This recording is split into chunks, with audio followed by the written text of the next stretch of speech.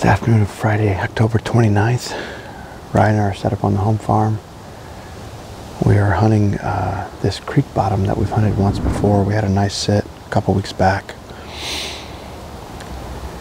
We basically slip up through the hayfield and then just drop down with a north wind blowing back towards the hay and I can set up on this ridge and overlook this creek bottom. It connects up, you can barely see my bean field over there which goes up to the cherry tree. So this is a this big draw that I think Chubbs is bedding in sometimes. He was here on this camera down maybe 100, 100 yards or so. He was here two nights ago uh, with some legal shooting light left. And the other two out of three nights he's been coming out of the other bowl. One time in alfalfa, one time in the turnip plot. So he's been active three nights in a row with legal shooting light left. So um, I'm just gonna get a little more aggressive and stay after him and hopefully we can cross paths. I'd love to at least lay eyes on him.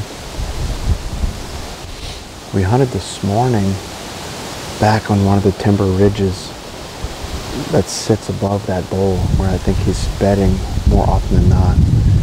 And we only saw one forkhorn. We slipped around to the south side of the farm and dropped down on a, I got a, a ATV trail that goes through that timber so we are able to slip up that and hang a set. It was real windy this morning, drizzling, so we got it in clean. It's a beautiful morning, just uh, didn't see the deer activity that I was hoping for. So we made a move to this end of the farm. And I've got, you know, Chubbs is my number one target, but I also have gotten a few pictures of this buck from last year. Never really named him, just called him the 6x5. And he hasn't been as active on the farm this year as he was the past two years but I've got him in daylight twice, once down on this camera and then once uh, up in this alfalfa clover field up here. Both around 6 o'clock with plenty of legal shooting. He's another buck I'm really excited to lay eyes on. So I worked the last two days and I wasn't able to get out despite Chubbs being active. So I, now I'm at the beginning of a six-day stretch. Hopefully I can uh, get him on the ground.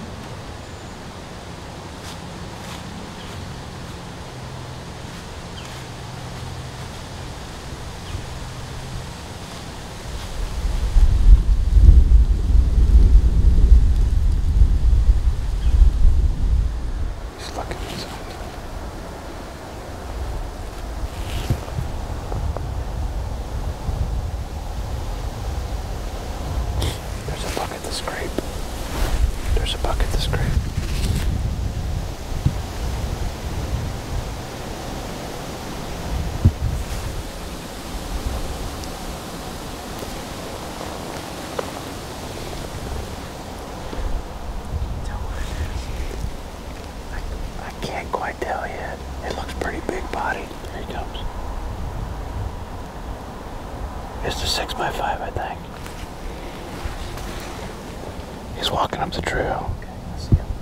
Yeah, yeah, that's definitely him. God, look how sweet he looks.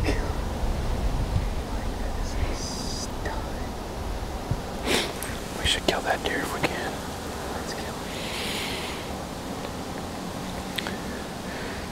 That younger deer doesn't want any part of that.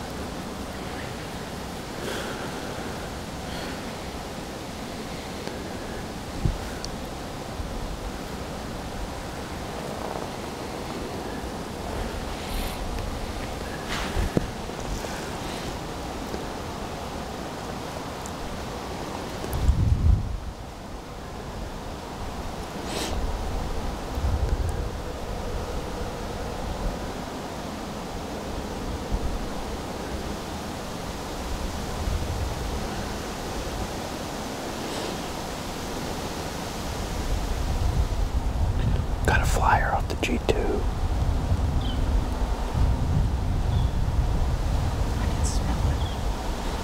Yeah, me too.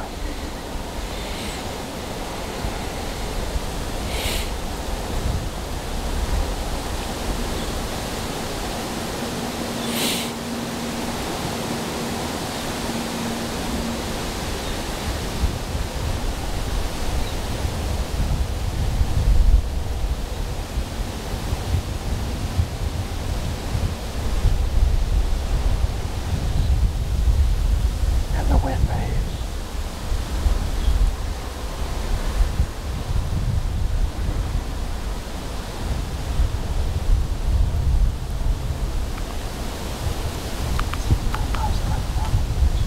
Is he?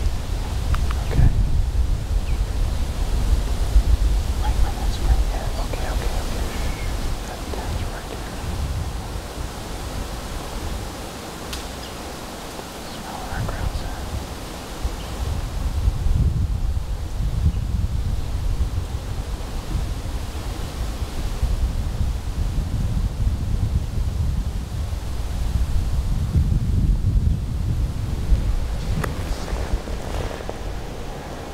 Yeah, that ditch is pretty deep. And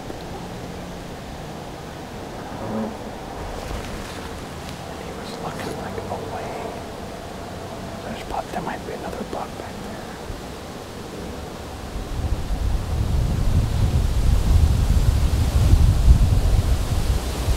I want to call to that deer, but I.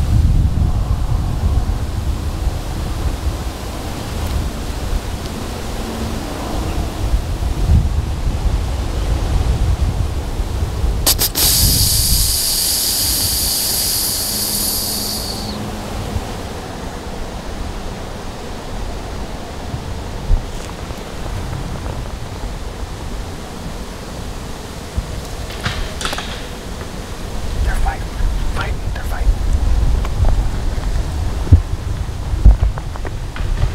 Dude, that's who is that? That's got to be Chubbs, right?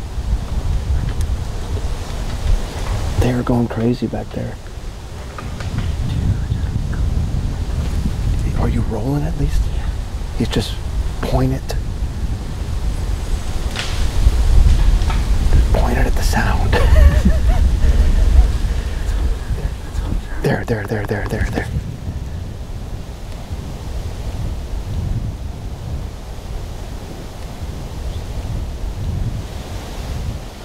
It's uh, what deer is that?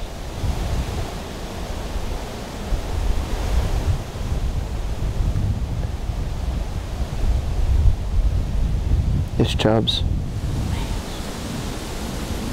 Dude, the two shooters.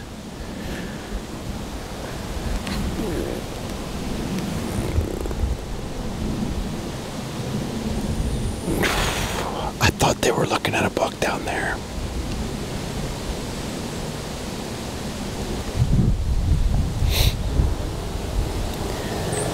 I'm at a loss for words. Um,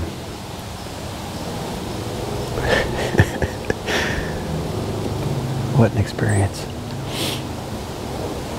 It all started with this two-year-old eight and this three-year-old ten coming down this trail that's on that ridge.